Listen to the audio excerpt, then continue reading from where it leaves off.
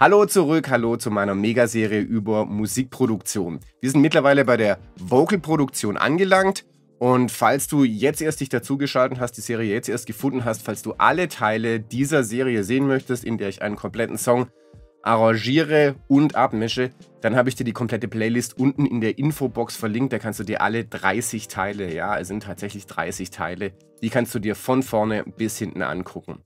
Okay, nachdem wir jetzt gestern und vorgestern die Vocals mit, also die Lead Vocals mit EQ bearbeitet haben und mit Kompression, haben wir die Vocals weiter nach vorne gebracht, weiter durch den Mix stechen lassen, besser gemacht, präsenter gemacht. Was aber auch präsenter geworden ist, ist was? Wir hören mal rein.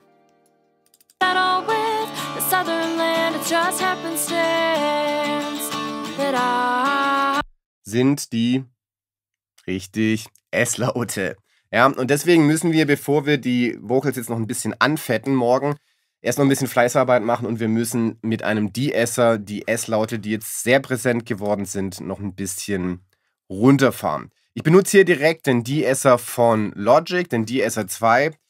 Der äh, alte De-Esser ist hier ausgewechselt worden mit dem Update Logic 10.5. Übrigens, kleiner Hack für Logic-User, ganz kurz, falls du auf den alten De-Esser zugreifen möchtest, falls du gar nicht auf ihn verzichten kannst, den blöd findest oder irgendein anderes altes Plugin suchst, drückst du einfach die Option-Taste, gehst hier drauf und dann kannst du hier auf ältere Versionen gehen und hier ist auch noch der alte De-Esser, der alte De-Noiser, das Golden, äh, das Gold Reverb, Platinum Reverb, alle die Sachen, die hier sonst nicht mehr sind, die kannst du hier finden. Also einfach mit der Alt-Taste hier in den Kanalzug drücken bei den Audioeffekten, dann kommt, kommt hier die Option ältere Version. Also das nur ganz kurz für Logic-User.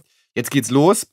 Ein De-Esser ist im Prinzip ein sehr schneller Kompressor, der hohe Frequenzen komprimiert, um sie leiser zu machen und den restlichen Frequenzbereich des Signals unberührt lässt. Die De-Esser funktionieren alle so ein bisschen ähnlich und haben auch ähnliche Parameter. Insofern kannst du auch, wenn du jetzt nicht Logics De-Esser benutzt, sondern irgendeinen anderen, solltest du hier folgen können bei den Arbeitsschritten. Ähm, ich gehe immer so vor, dass ich zunächst mal Filter Solo schalte. Das hat äh, eigentlich jeder Kompressor.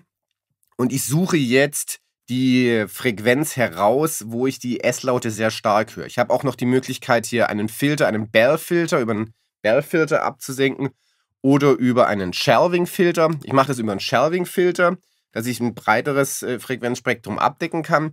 Und jetzt schalte ich hier einfach auf Filter Solo, sodass ich die S-Laute oder den Frequenzbereich raushören kann, wo die S-Laute wirklich ähm, richtig laut sind.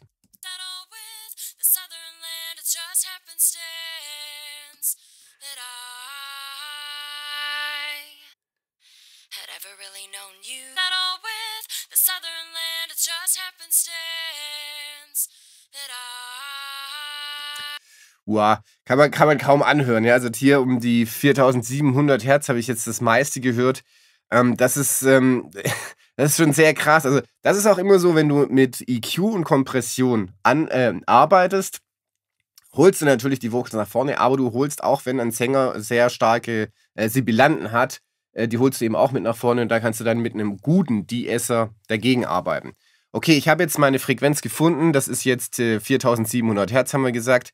Filter Solo schalte ich aus und jetzt kann ich über die Threshold, die ziemlich genau gleich funktioniert wie bei einem Kompressor, einfach raussuchen, ab wann der Kompressor greift und ich kann die maximale Reduktion festlegen. Ja, wenn ich die bei äh, wenn ich die zu hoch einstelle, dann wird bei S-Laute entstehen auf einmal Lücken im Gesang, was nicht so gut wäre.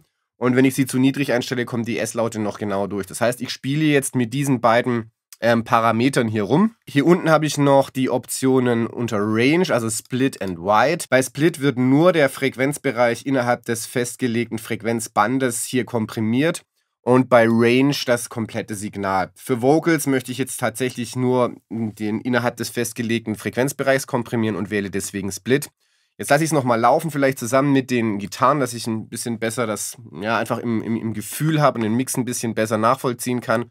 Und versuche jetzt über Threshold und Reduction so einzustellen, dass ihre Stimme möglichst natürlich klingt, dass ich aber die S-Laute leiser bekomme.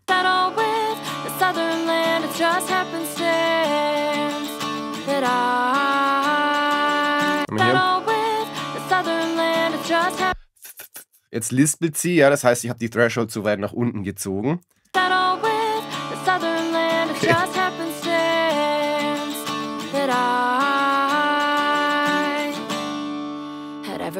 Mal kurz direkter Vergleich. Ohne und mit die Esser dann. Und mit. That all with the southern land, it just happenstance. Sehr guter Unterschied, also sehr kann man sehr gut hören hier, sehr guter Unterschied. Auf jeden Fall ein ordentliches Ergebnis mit dem DSR2. Man hört, äh, sie hat zwar sehr laute Sibilanten immer noch, aber ich finde, wir haben jetzt die so weit reduziert, dass sie nicht mehr nervig klingen im Mix und dass es einigermaßen natürlich klingt. Apropos Problemfrequenzen, da gibt es nicht nur Sibilanten, sondern da gibt es noch andere Frequenzbereiche, die Ärger im Mix machen. Das sind sechs Hauptfrequenzbereiche, die immer wieder Probleme im Mix machen und die du unbedingt kennen solltest. Falls du die noch nicht kennst, habe ich dir ein PDF vorbereitet. Da beschreibe ich dir diese sechs Problemfrequenzen ganz genau und was du tun kannst, wenn sie in deinem Mix irgendwie Ärger verursachen. Das habe ich in einem PDF zusammengefasst. Das habe ich dir unten im ersten Kommentar angepinnt. Da kannst du dir es runterladen. Es interessiert mich natürlich noch, mit welchem De-Esser arbeitest du? Hast du einen guten De-Esser in deiner DAW, den du benutzt? Oder hast du eben keinen guten De-Esser und benutzt ein Plugin von einem Drittanbieter. Das würde mich wirklich interessieren. Schreib es mir gerne unten in die Kommentare. Ansonsten freue ich mich natürlich riesig, wenn dir dieses Video hier weitergeholfen hat, wenn du es mit jemandem teilst, dem es auch weiterhilft. Morgen geht es dann weiter. Wir werden versuchen, die Vocals ein bisschen in die Stereobreite ziehen, sie noch ein bisschen mit Hall zu versehen, um sie in die Tiefe des Mixes zu bringen. Und ich hoffe, du bist dann wieder dabei.